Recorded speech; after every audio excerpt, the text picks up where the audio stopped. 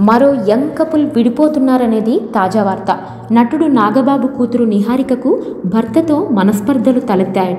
ఆధారాలు చూపుతూ ఈ మేరకు కథనాలు వెలువడుతున్నాయి.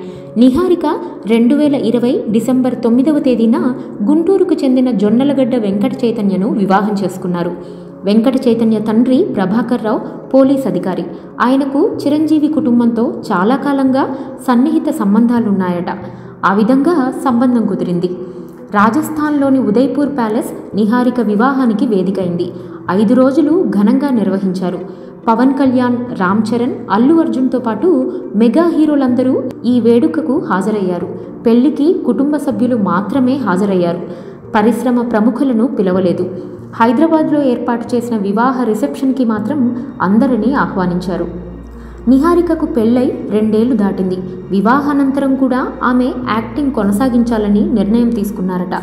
అందుకు వెంకట చైతన్య కుటుంబ సభ్యులు అనుమతిచ్చినట్లుగా సమాచారం.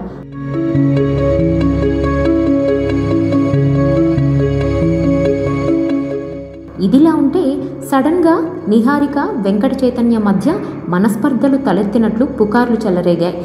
ఇద్దరు సోషల్ మీడియాలో ఒకరిని మరొకరు అన్ఫాలో అయ్యారు. వెంకట చైతన్య పెళ్ళి ఫోటోలతో పాటు నిహారికతో ఉన్న ఫోటోలను డిలీట్ చేశారు. ఇవి విడాకుల వార్తలకు దారితీశాయి. నిహారిక పెళ్ళి ఫోటోలు తన అకౌంట్ నుండి తొలగించలేదు. అయితే వెంకట చైతన్య అకౌంట్ నుండి నిహారిక ఉన్న ఒక్క ఫోటో మాత్రం డిలీట్ చేయలేదు.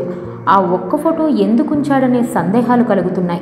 వెంకట చైతన్య తన అకౌంట్లో ఉంచిన నిహారిక ఫోటోలో పెద్ద ఉండడం మనం చూడొచ్చు. నిజంగా వెంకట చైతన్య నిహారిక మధ్య గొడవలు నిజమైతే కారణాలు ఏమిటనే అన్వేషణ మొదలైంది. ఈ రెండేళ్ళలో నిహారిక కొన్ని వివాదాల్లో చిక్కుకున్నారు. కొన్ని నెలలు ఇన్స్టాగ్రామ్ అకౌంట్ను డీయాక్టివేట్ చేసి సోషల్ మీడియాకు దూరమయ్యారు.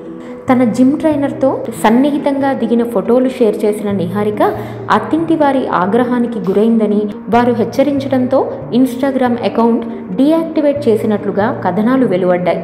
అలాగే ఫుడింగ్ అండ్ మింక్ పబ్లో జరుగుతున్న లేట్ నైట్ పార్టీపై అధికారులు దాడి చేయగా నిహారిక పట్టుబడ్డారు.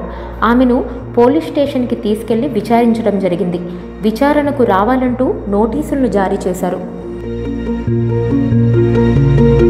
Thank you.